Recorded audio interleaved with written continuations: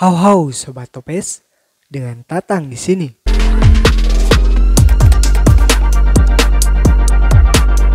Pelajar siswa atau mahasiswa di Indonesia saat ini lebih banyak menggunakan laptop untuk kebutuhan mengerjakan tugas. Selain karena laptop lebih mudah dibawa ke mana-mana, laptop juga merupakan perangkat praktis yang bisa digunakan. Tidak hanya untuk mengetik, tapi juga sekaligus untuk mendukung presentasi kalian. Kebutuhan pelajar akan sebuah laptop sebenarnya beragam, tergantung dari jurusannya tetapi secara umum, sebuah laptop terjangkau dan berdesain tipis adalah yang paling banyak dibutuhkan mahasiswa atau siswa pelajar.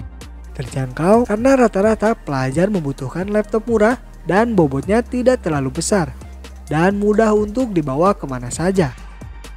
Nah, di video kali ini kami akan membahas 7 laptop terbaik untuk pelajar dan mahasiswa. Namun sebelum dilanjut pada pembahasan, silahkan klik dulu tombol subscribe-nya dan klik juga tombol loncengnya ya biar kalian gak ketinggalan updatean video di channel ini sob. HP 15 Athlon Gold 3150U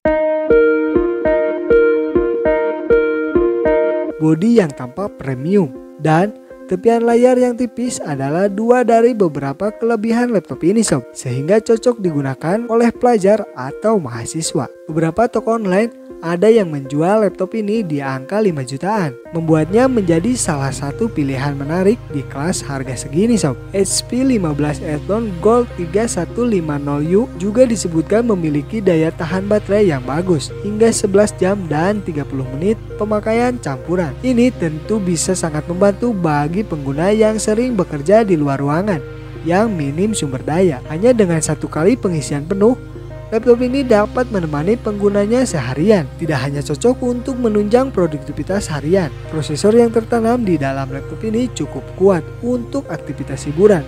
Menonton film dan bermain game nyaman dilakukan di layar yang besar plus dukungan pengeras suara stereo yang mumpuni. Lenovo IdeaPad 11 AMD Athlon 3020E Laptop murah dari Lenovo ini bisa menjadi andalan bagi yang punya mobilitas yang cukup tinggi. Pasalnya laptop 11 inci ini membuat portable dengan bobot sekitar 1,2 kg. Selain itu, daya tahan baterai juga cukup memadai untuk pemakaian di perjalanan, yaitu diklaim mampu bertahan hingga 7 jam pemakaian standar. Untuk performa, Lenovo IdeaPad mengandalkan prosesor AMD yang lumayan cepat di kelasnya disandingkan dengan RAM 4GB dan penyimpanan eMMC yang bekerja lebih cepat dari SSD. Laptop ini sangat bisa diandalkan untuk komputasi ringan, namun sayangnya nih sob, kapasitas penyimpanannya terbilang kecil, sehingga kalian mungkin memerlukan hard disk eksternal. Nah untuk soal harga, laptop dari Lenovo ini dijual sekitar 5 juta rupiah.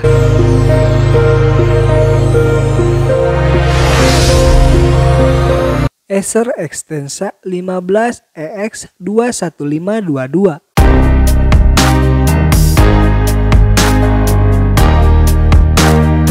RAM yang besar adalah salah satu kelebihan laptop ini sob.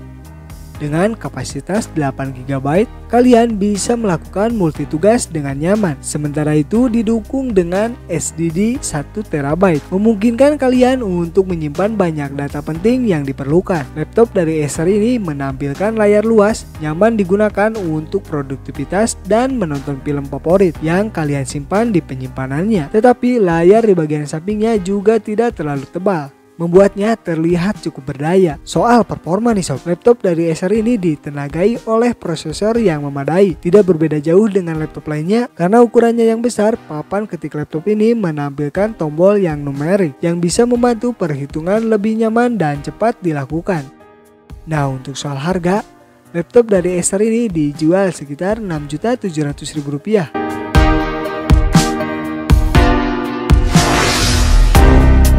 Asus VivoBook A416MA.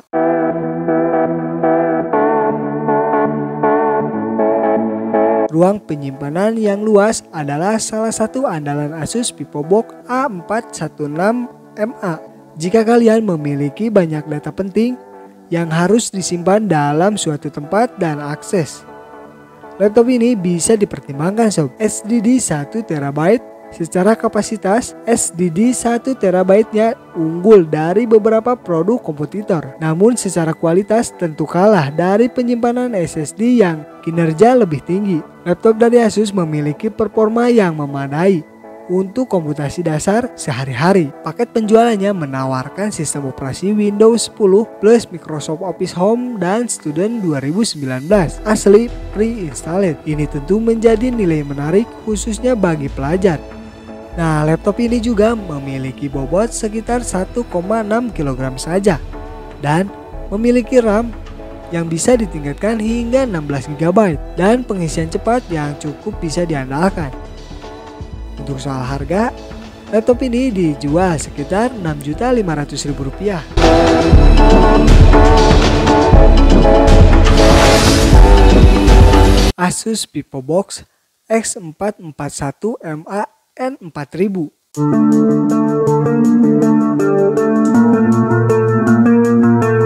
Asus VivoBox N4000 adalah laptop yang dirancang untuk kompetisi sehari-hari. Maka dari itu sob, bobotnya cukup ringan, sekitar 1,7 kg. Varian warnanya juga cukup menarik nih, dengan tekstur mengkilap dan terasa premium dengan brush metal efek. Untuk performa, varian dengan prosesor Intel Celeron N4000 terbilang bisa diandalkan untuk kompetisi ringan sehari-hari. Asus menyediakan ruang penyimpanan internal yang lumayan besar, yang cukup untuk menampung berbagai data penting serta banyak media. Karena seri Asus X441 dirancang dengan memberikan pengalaman multimedia yang mendalam, Asus juga menambahkan teknologi audio yang lumayan mumpuni di dalam produk ini. Sementara itu, Daya tahan baterainya disebutkan mampu bertahan hingga 8 jam pemakaian, membuatnya bisa diandalkan saat sesekali jauh dari sumber daya sob. Nah untuk soal harga, laptop dari Asus X441 ini dijual sekitar Rp6.500.000. Lenovo IdeaPad Flex 3 Intel N4020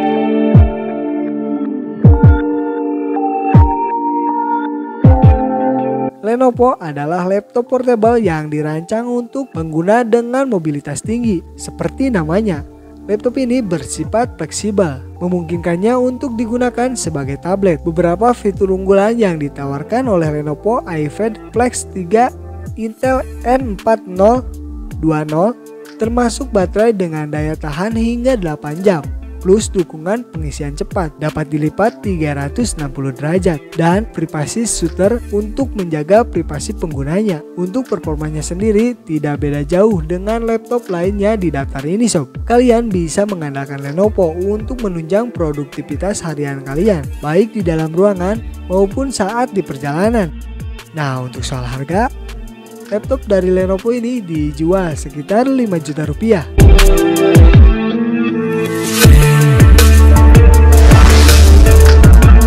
Jairex Sky 360 2 in 1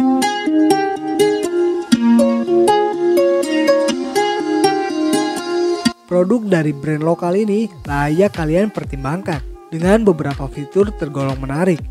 Sebut saja adalah sebuah fitur layar Full HD yang menampilkan gambar tajam karena kerapatan pixelnya tinggi. Lebih dari itu, layarnya sudah layar sentuh untuk menunjang mode tablet karena layar diputar hingga 360 derajat. Desain laptop ini cukup stylish dan tipis, namun bobotnya mungkin relatif agak berat sob yakni 1,5 kg sehingga memegangnya dengan satu tangan dalam mode tablet mungkin bisa cukup melelahkan bagi sebagian orang. Sedangkan performanya sendiri, Jairex NB Sky 360 256GB terbilang memadai untuk menunjang produktivitas harian penggunanya. Nah untuk soal harga, laptop dari Jairex ini dijual sekitar Rp6.500.000.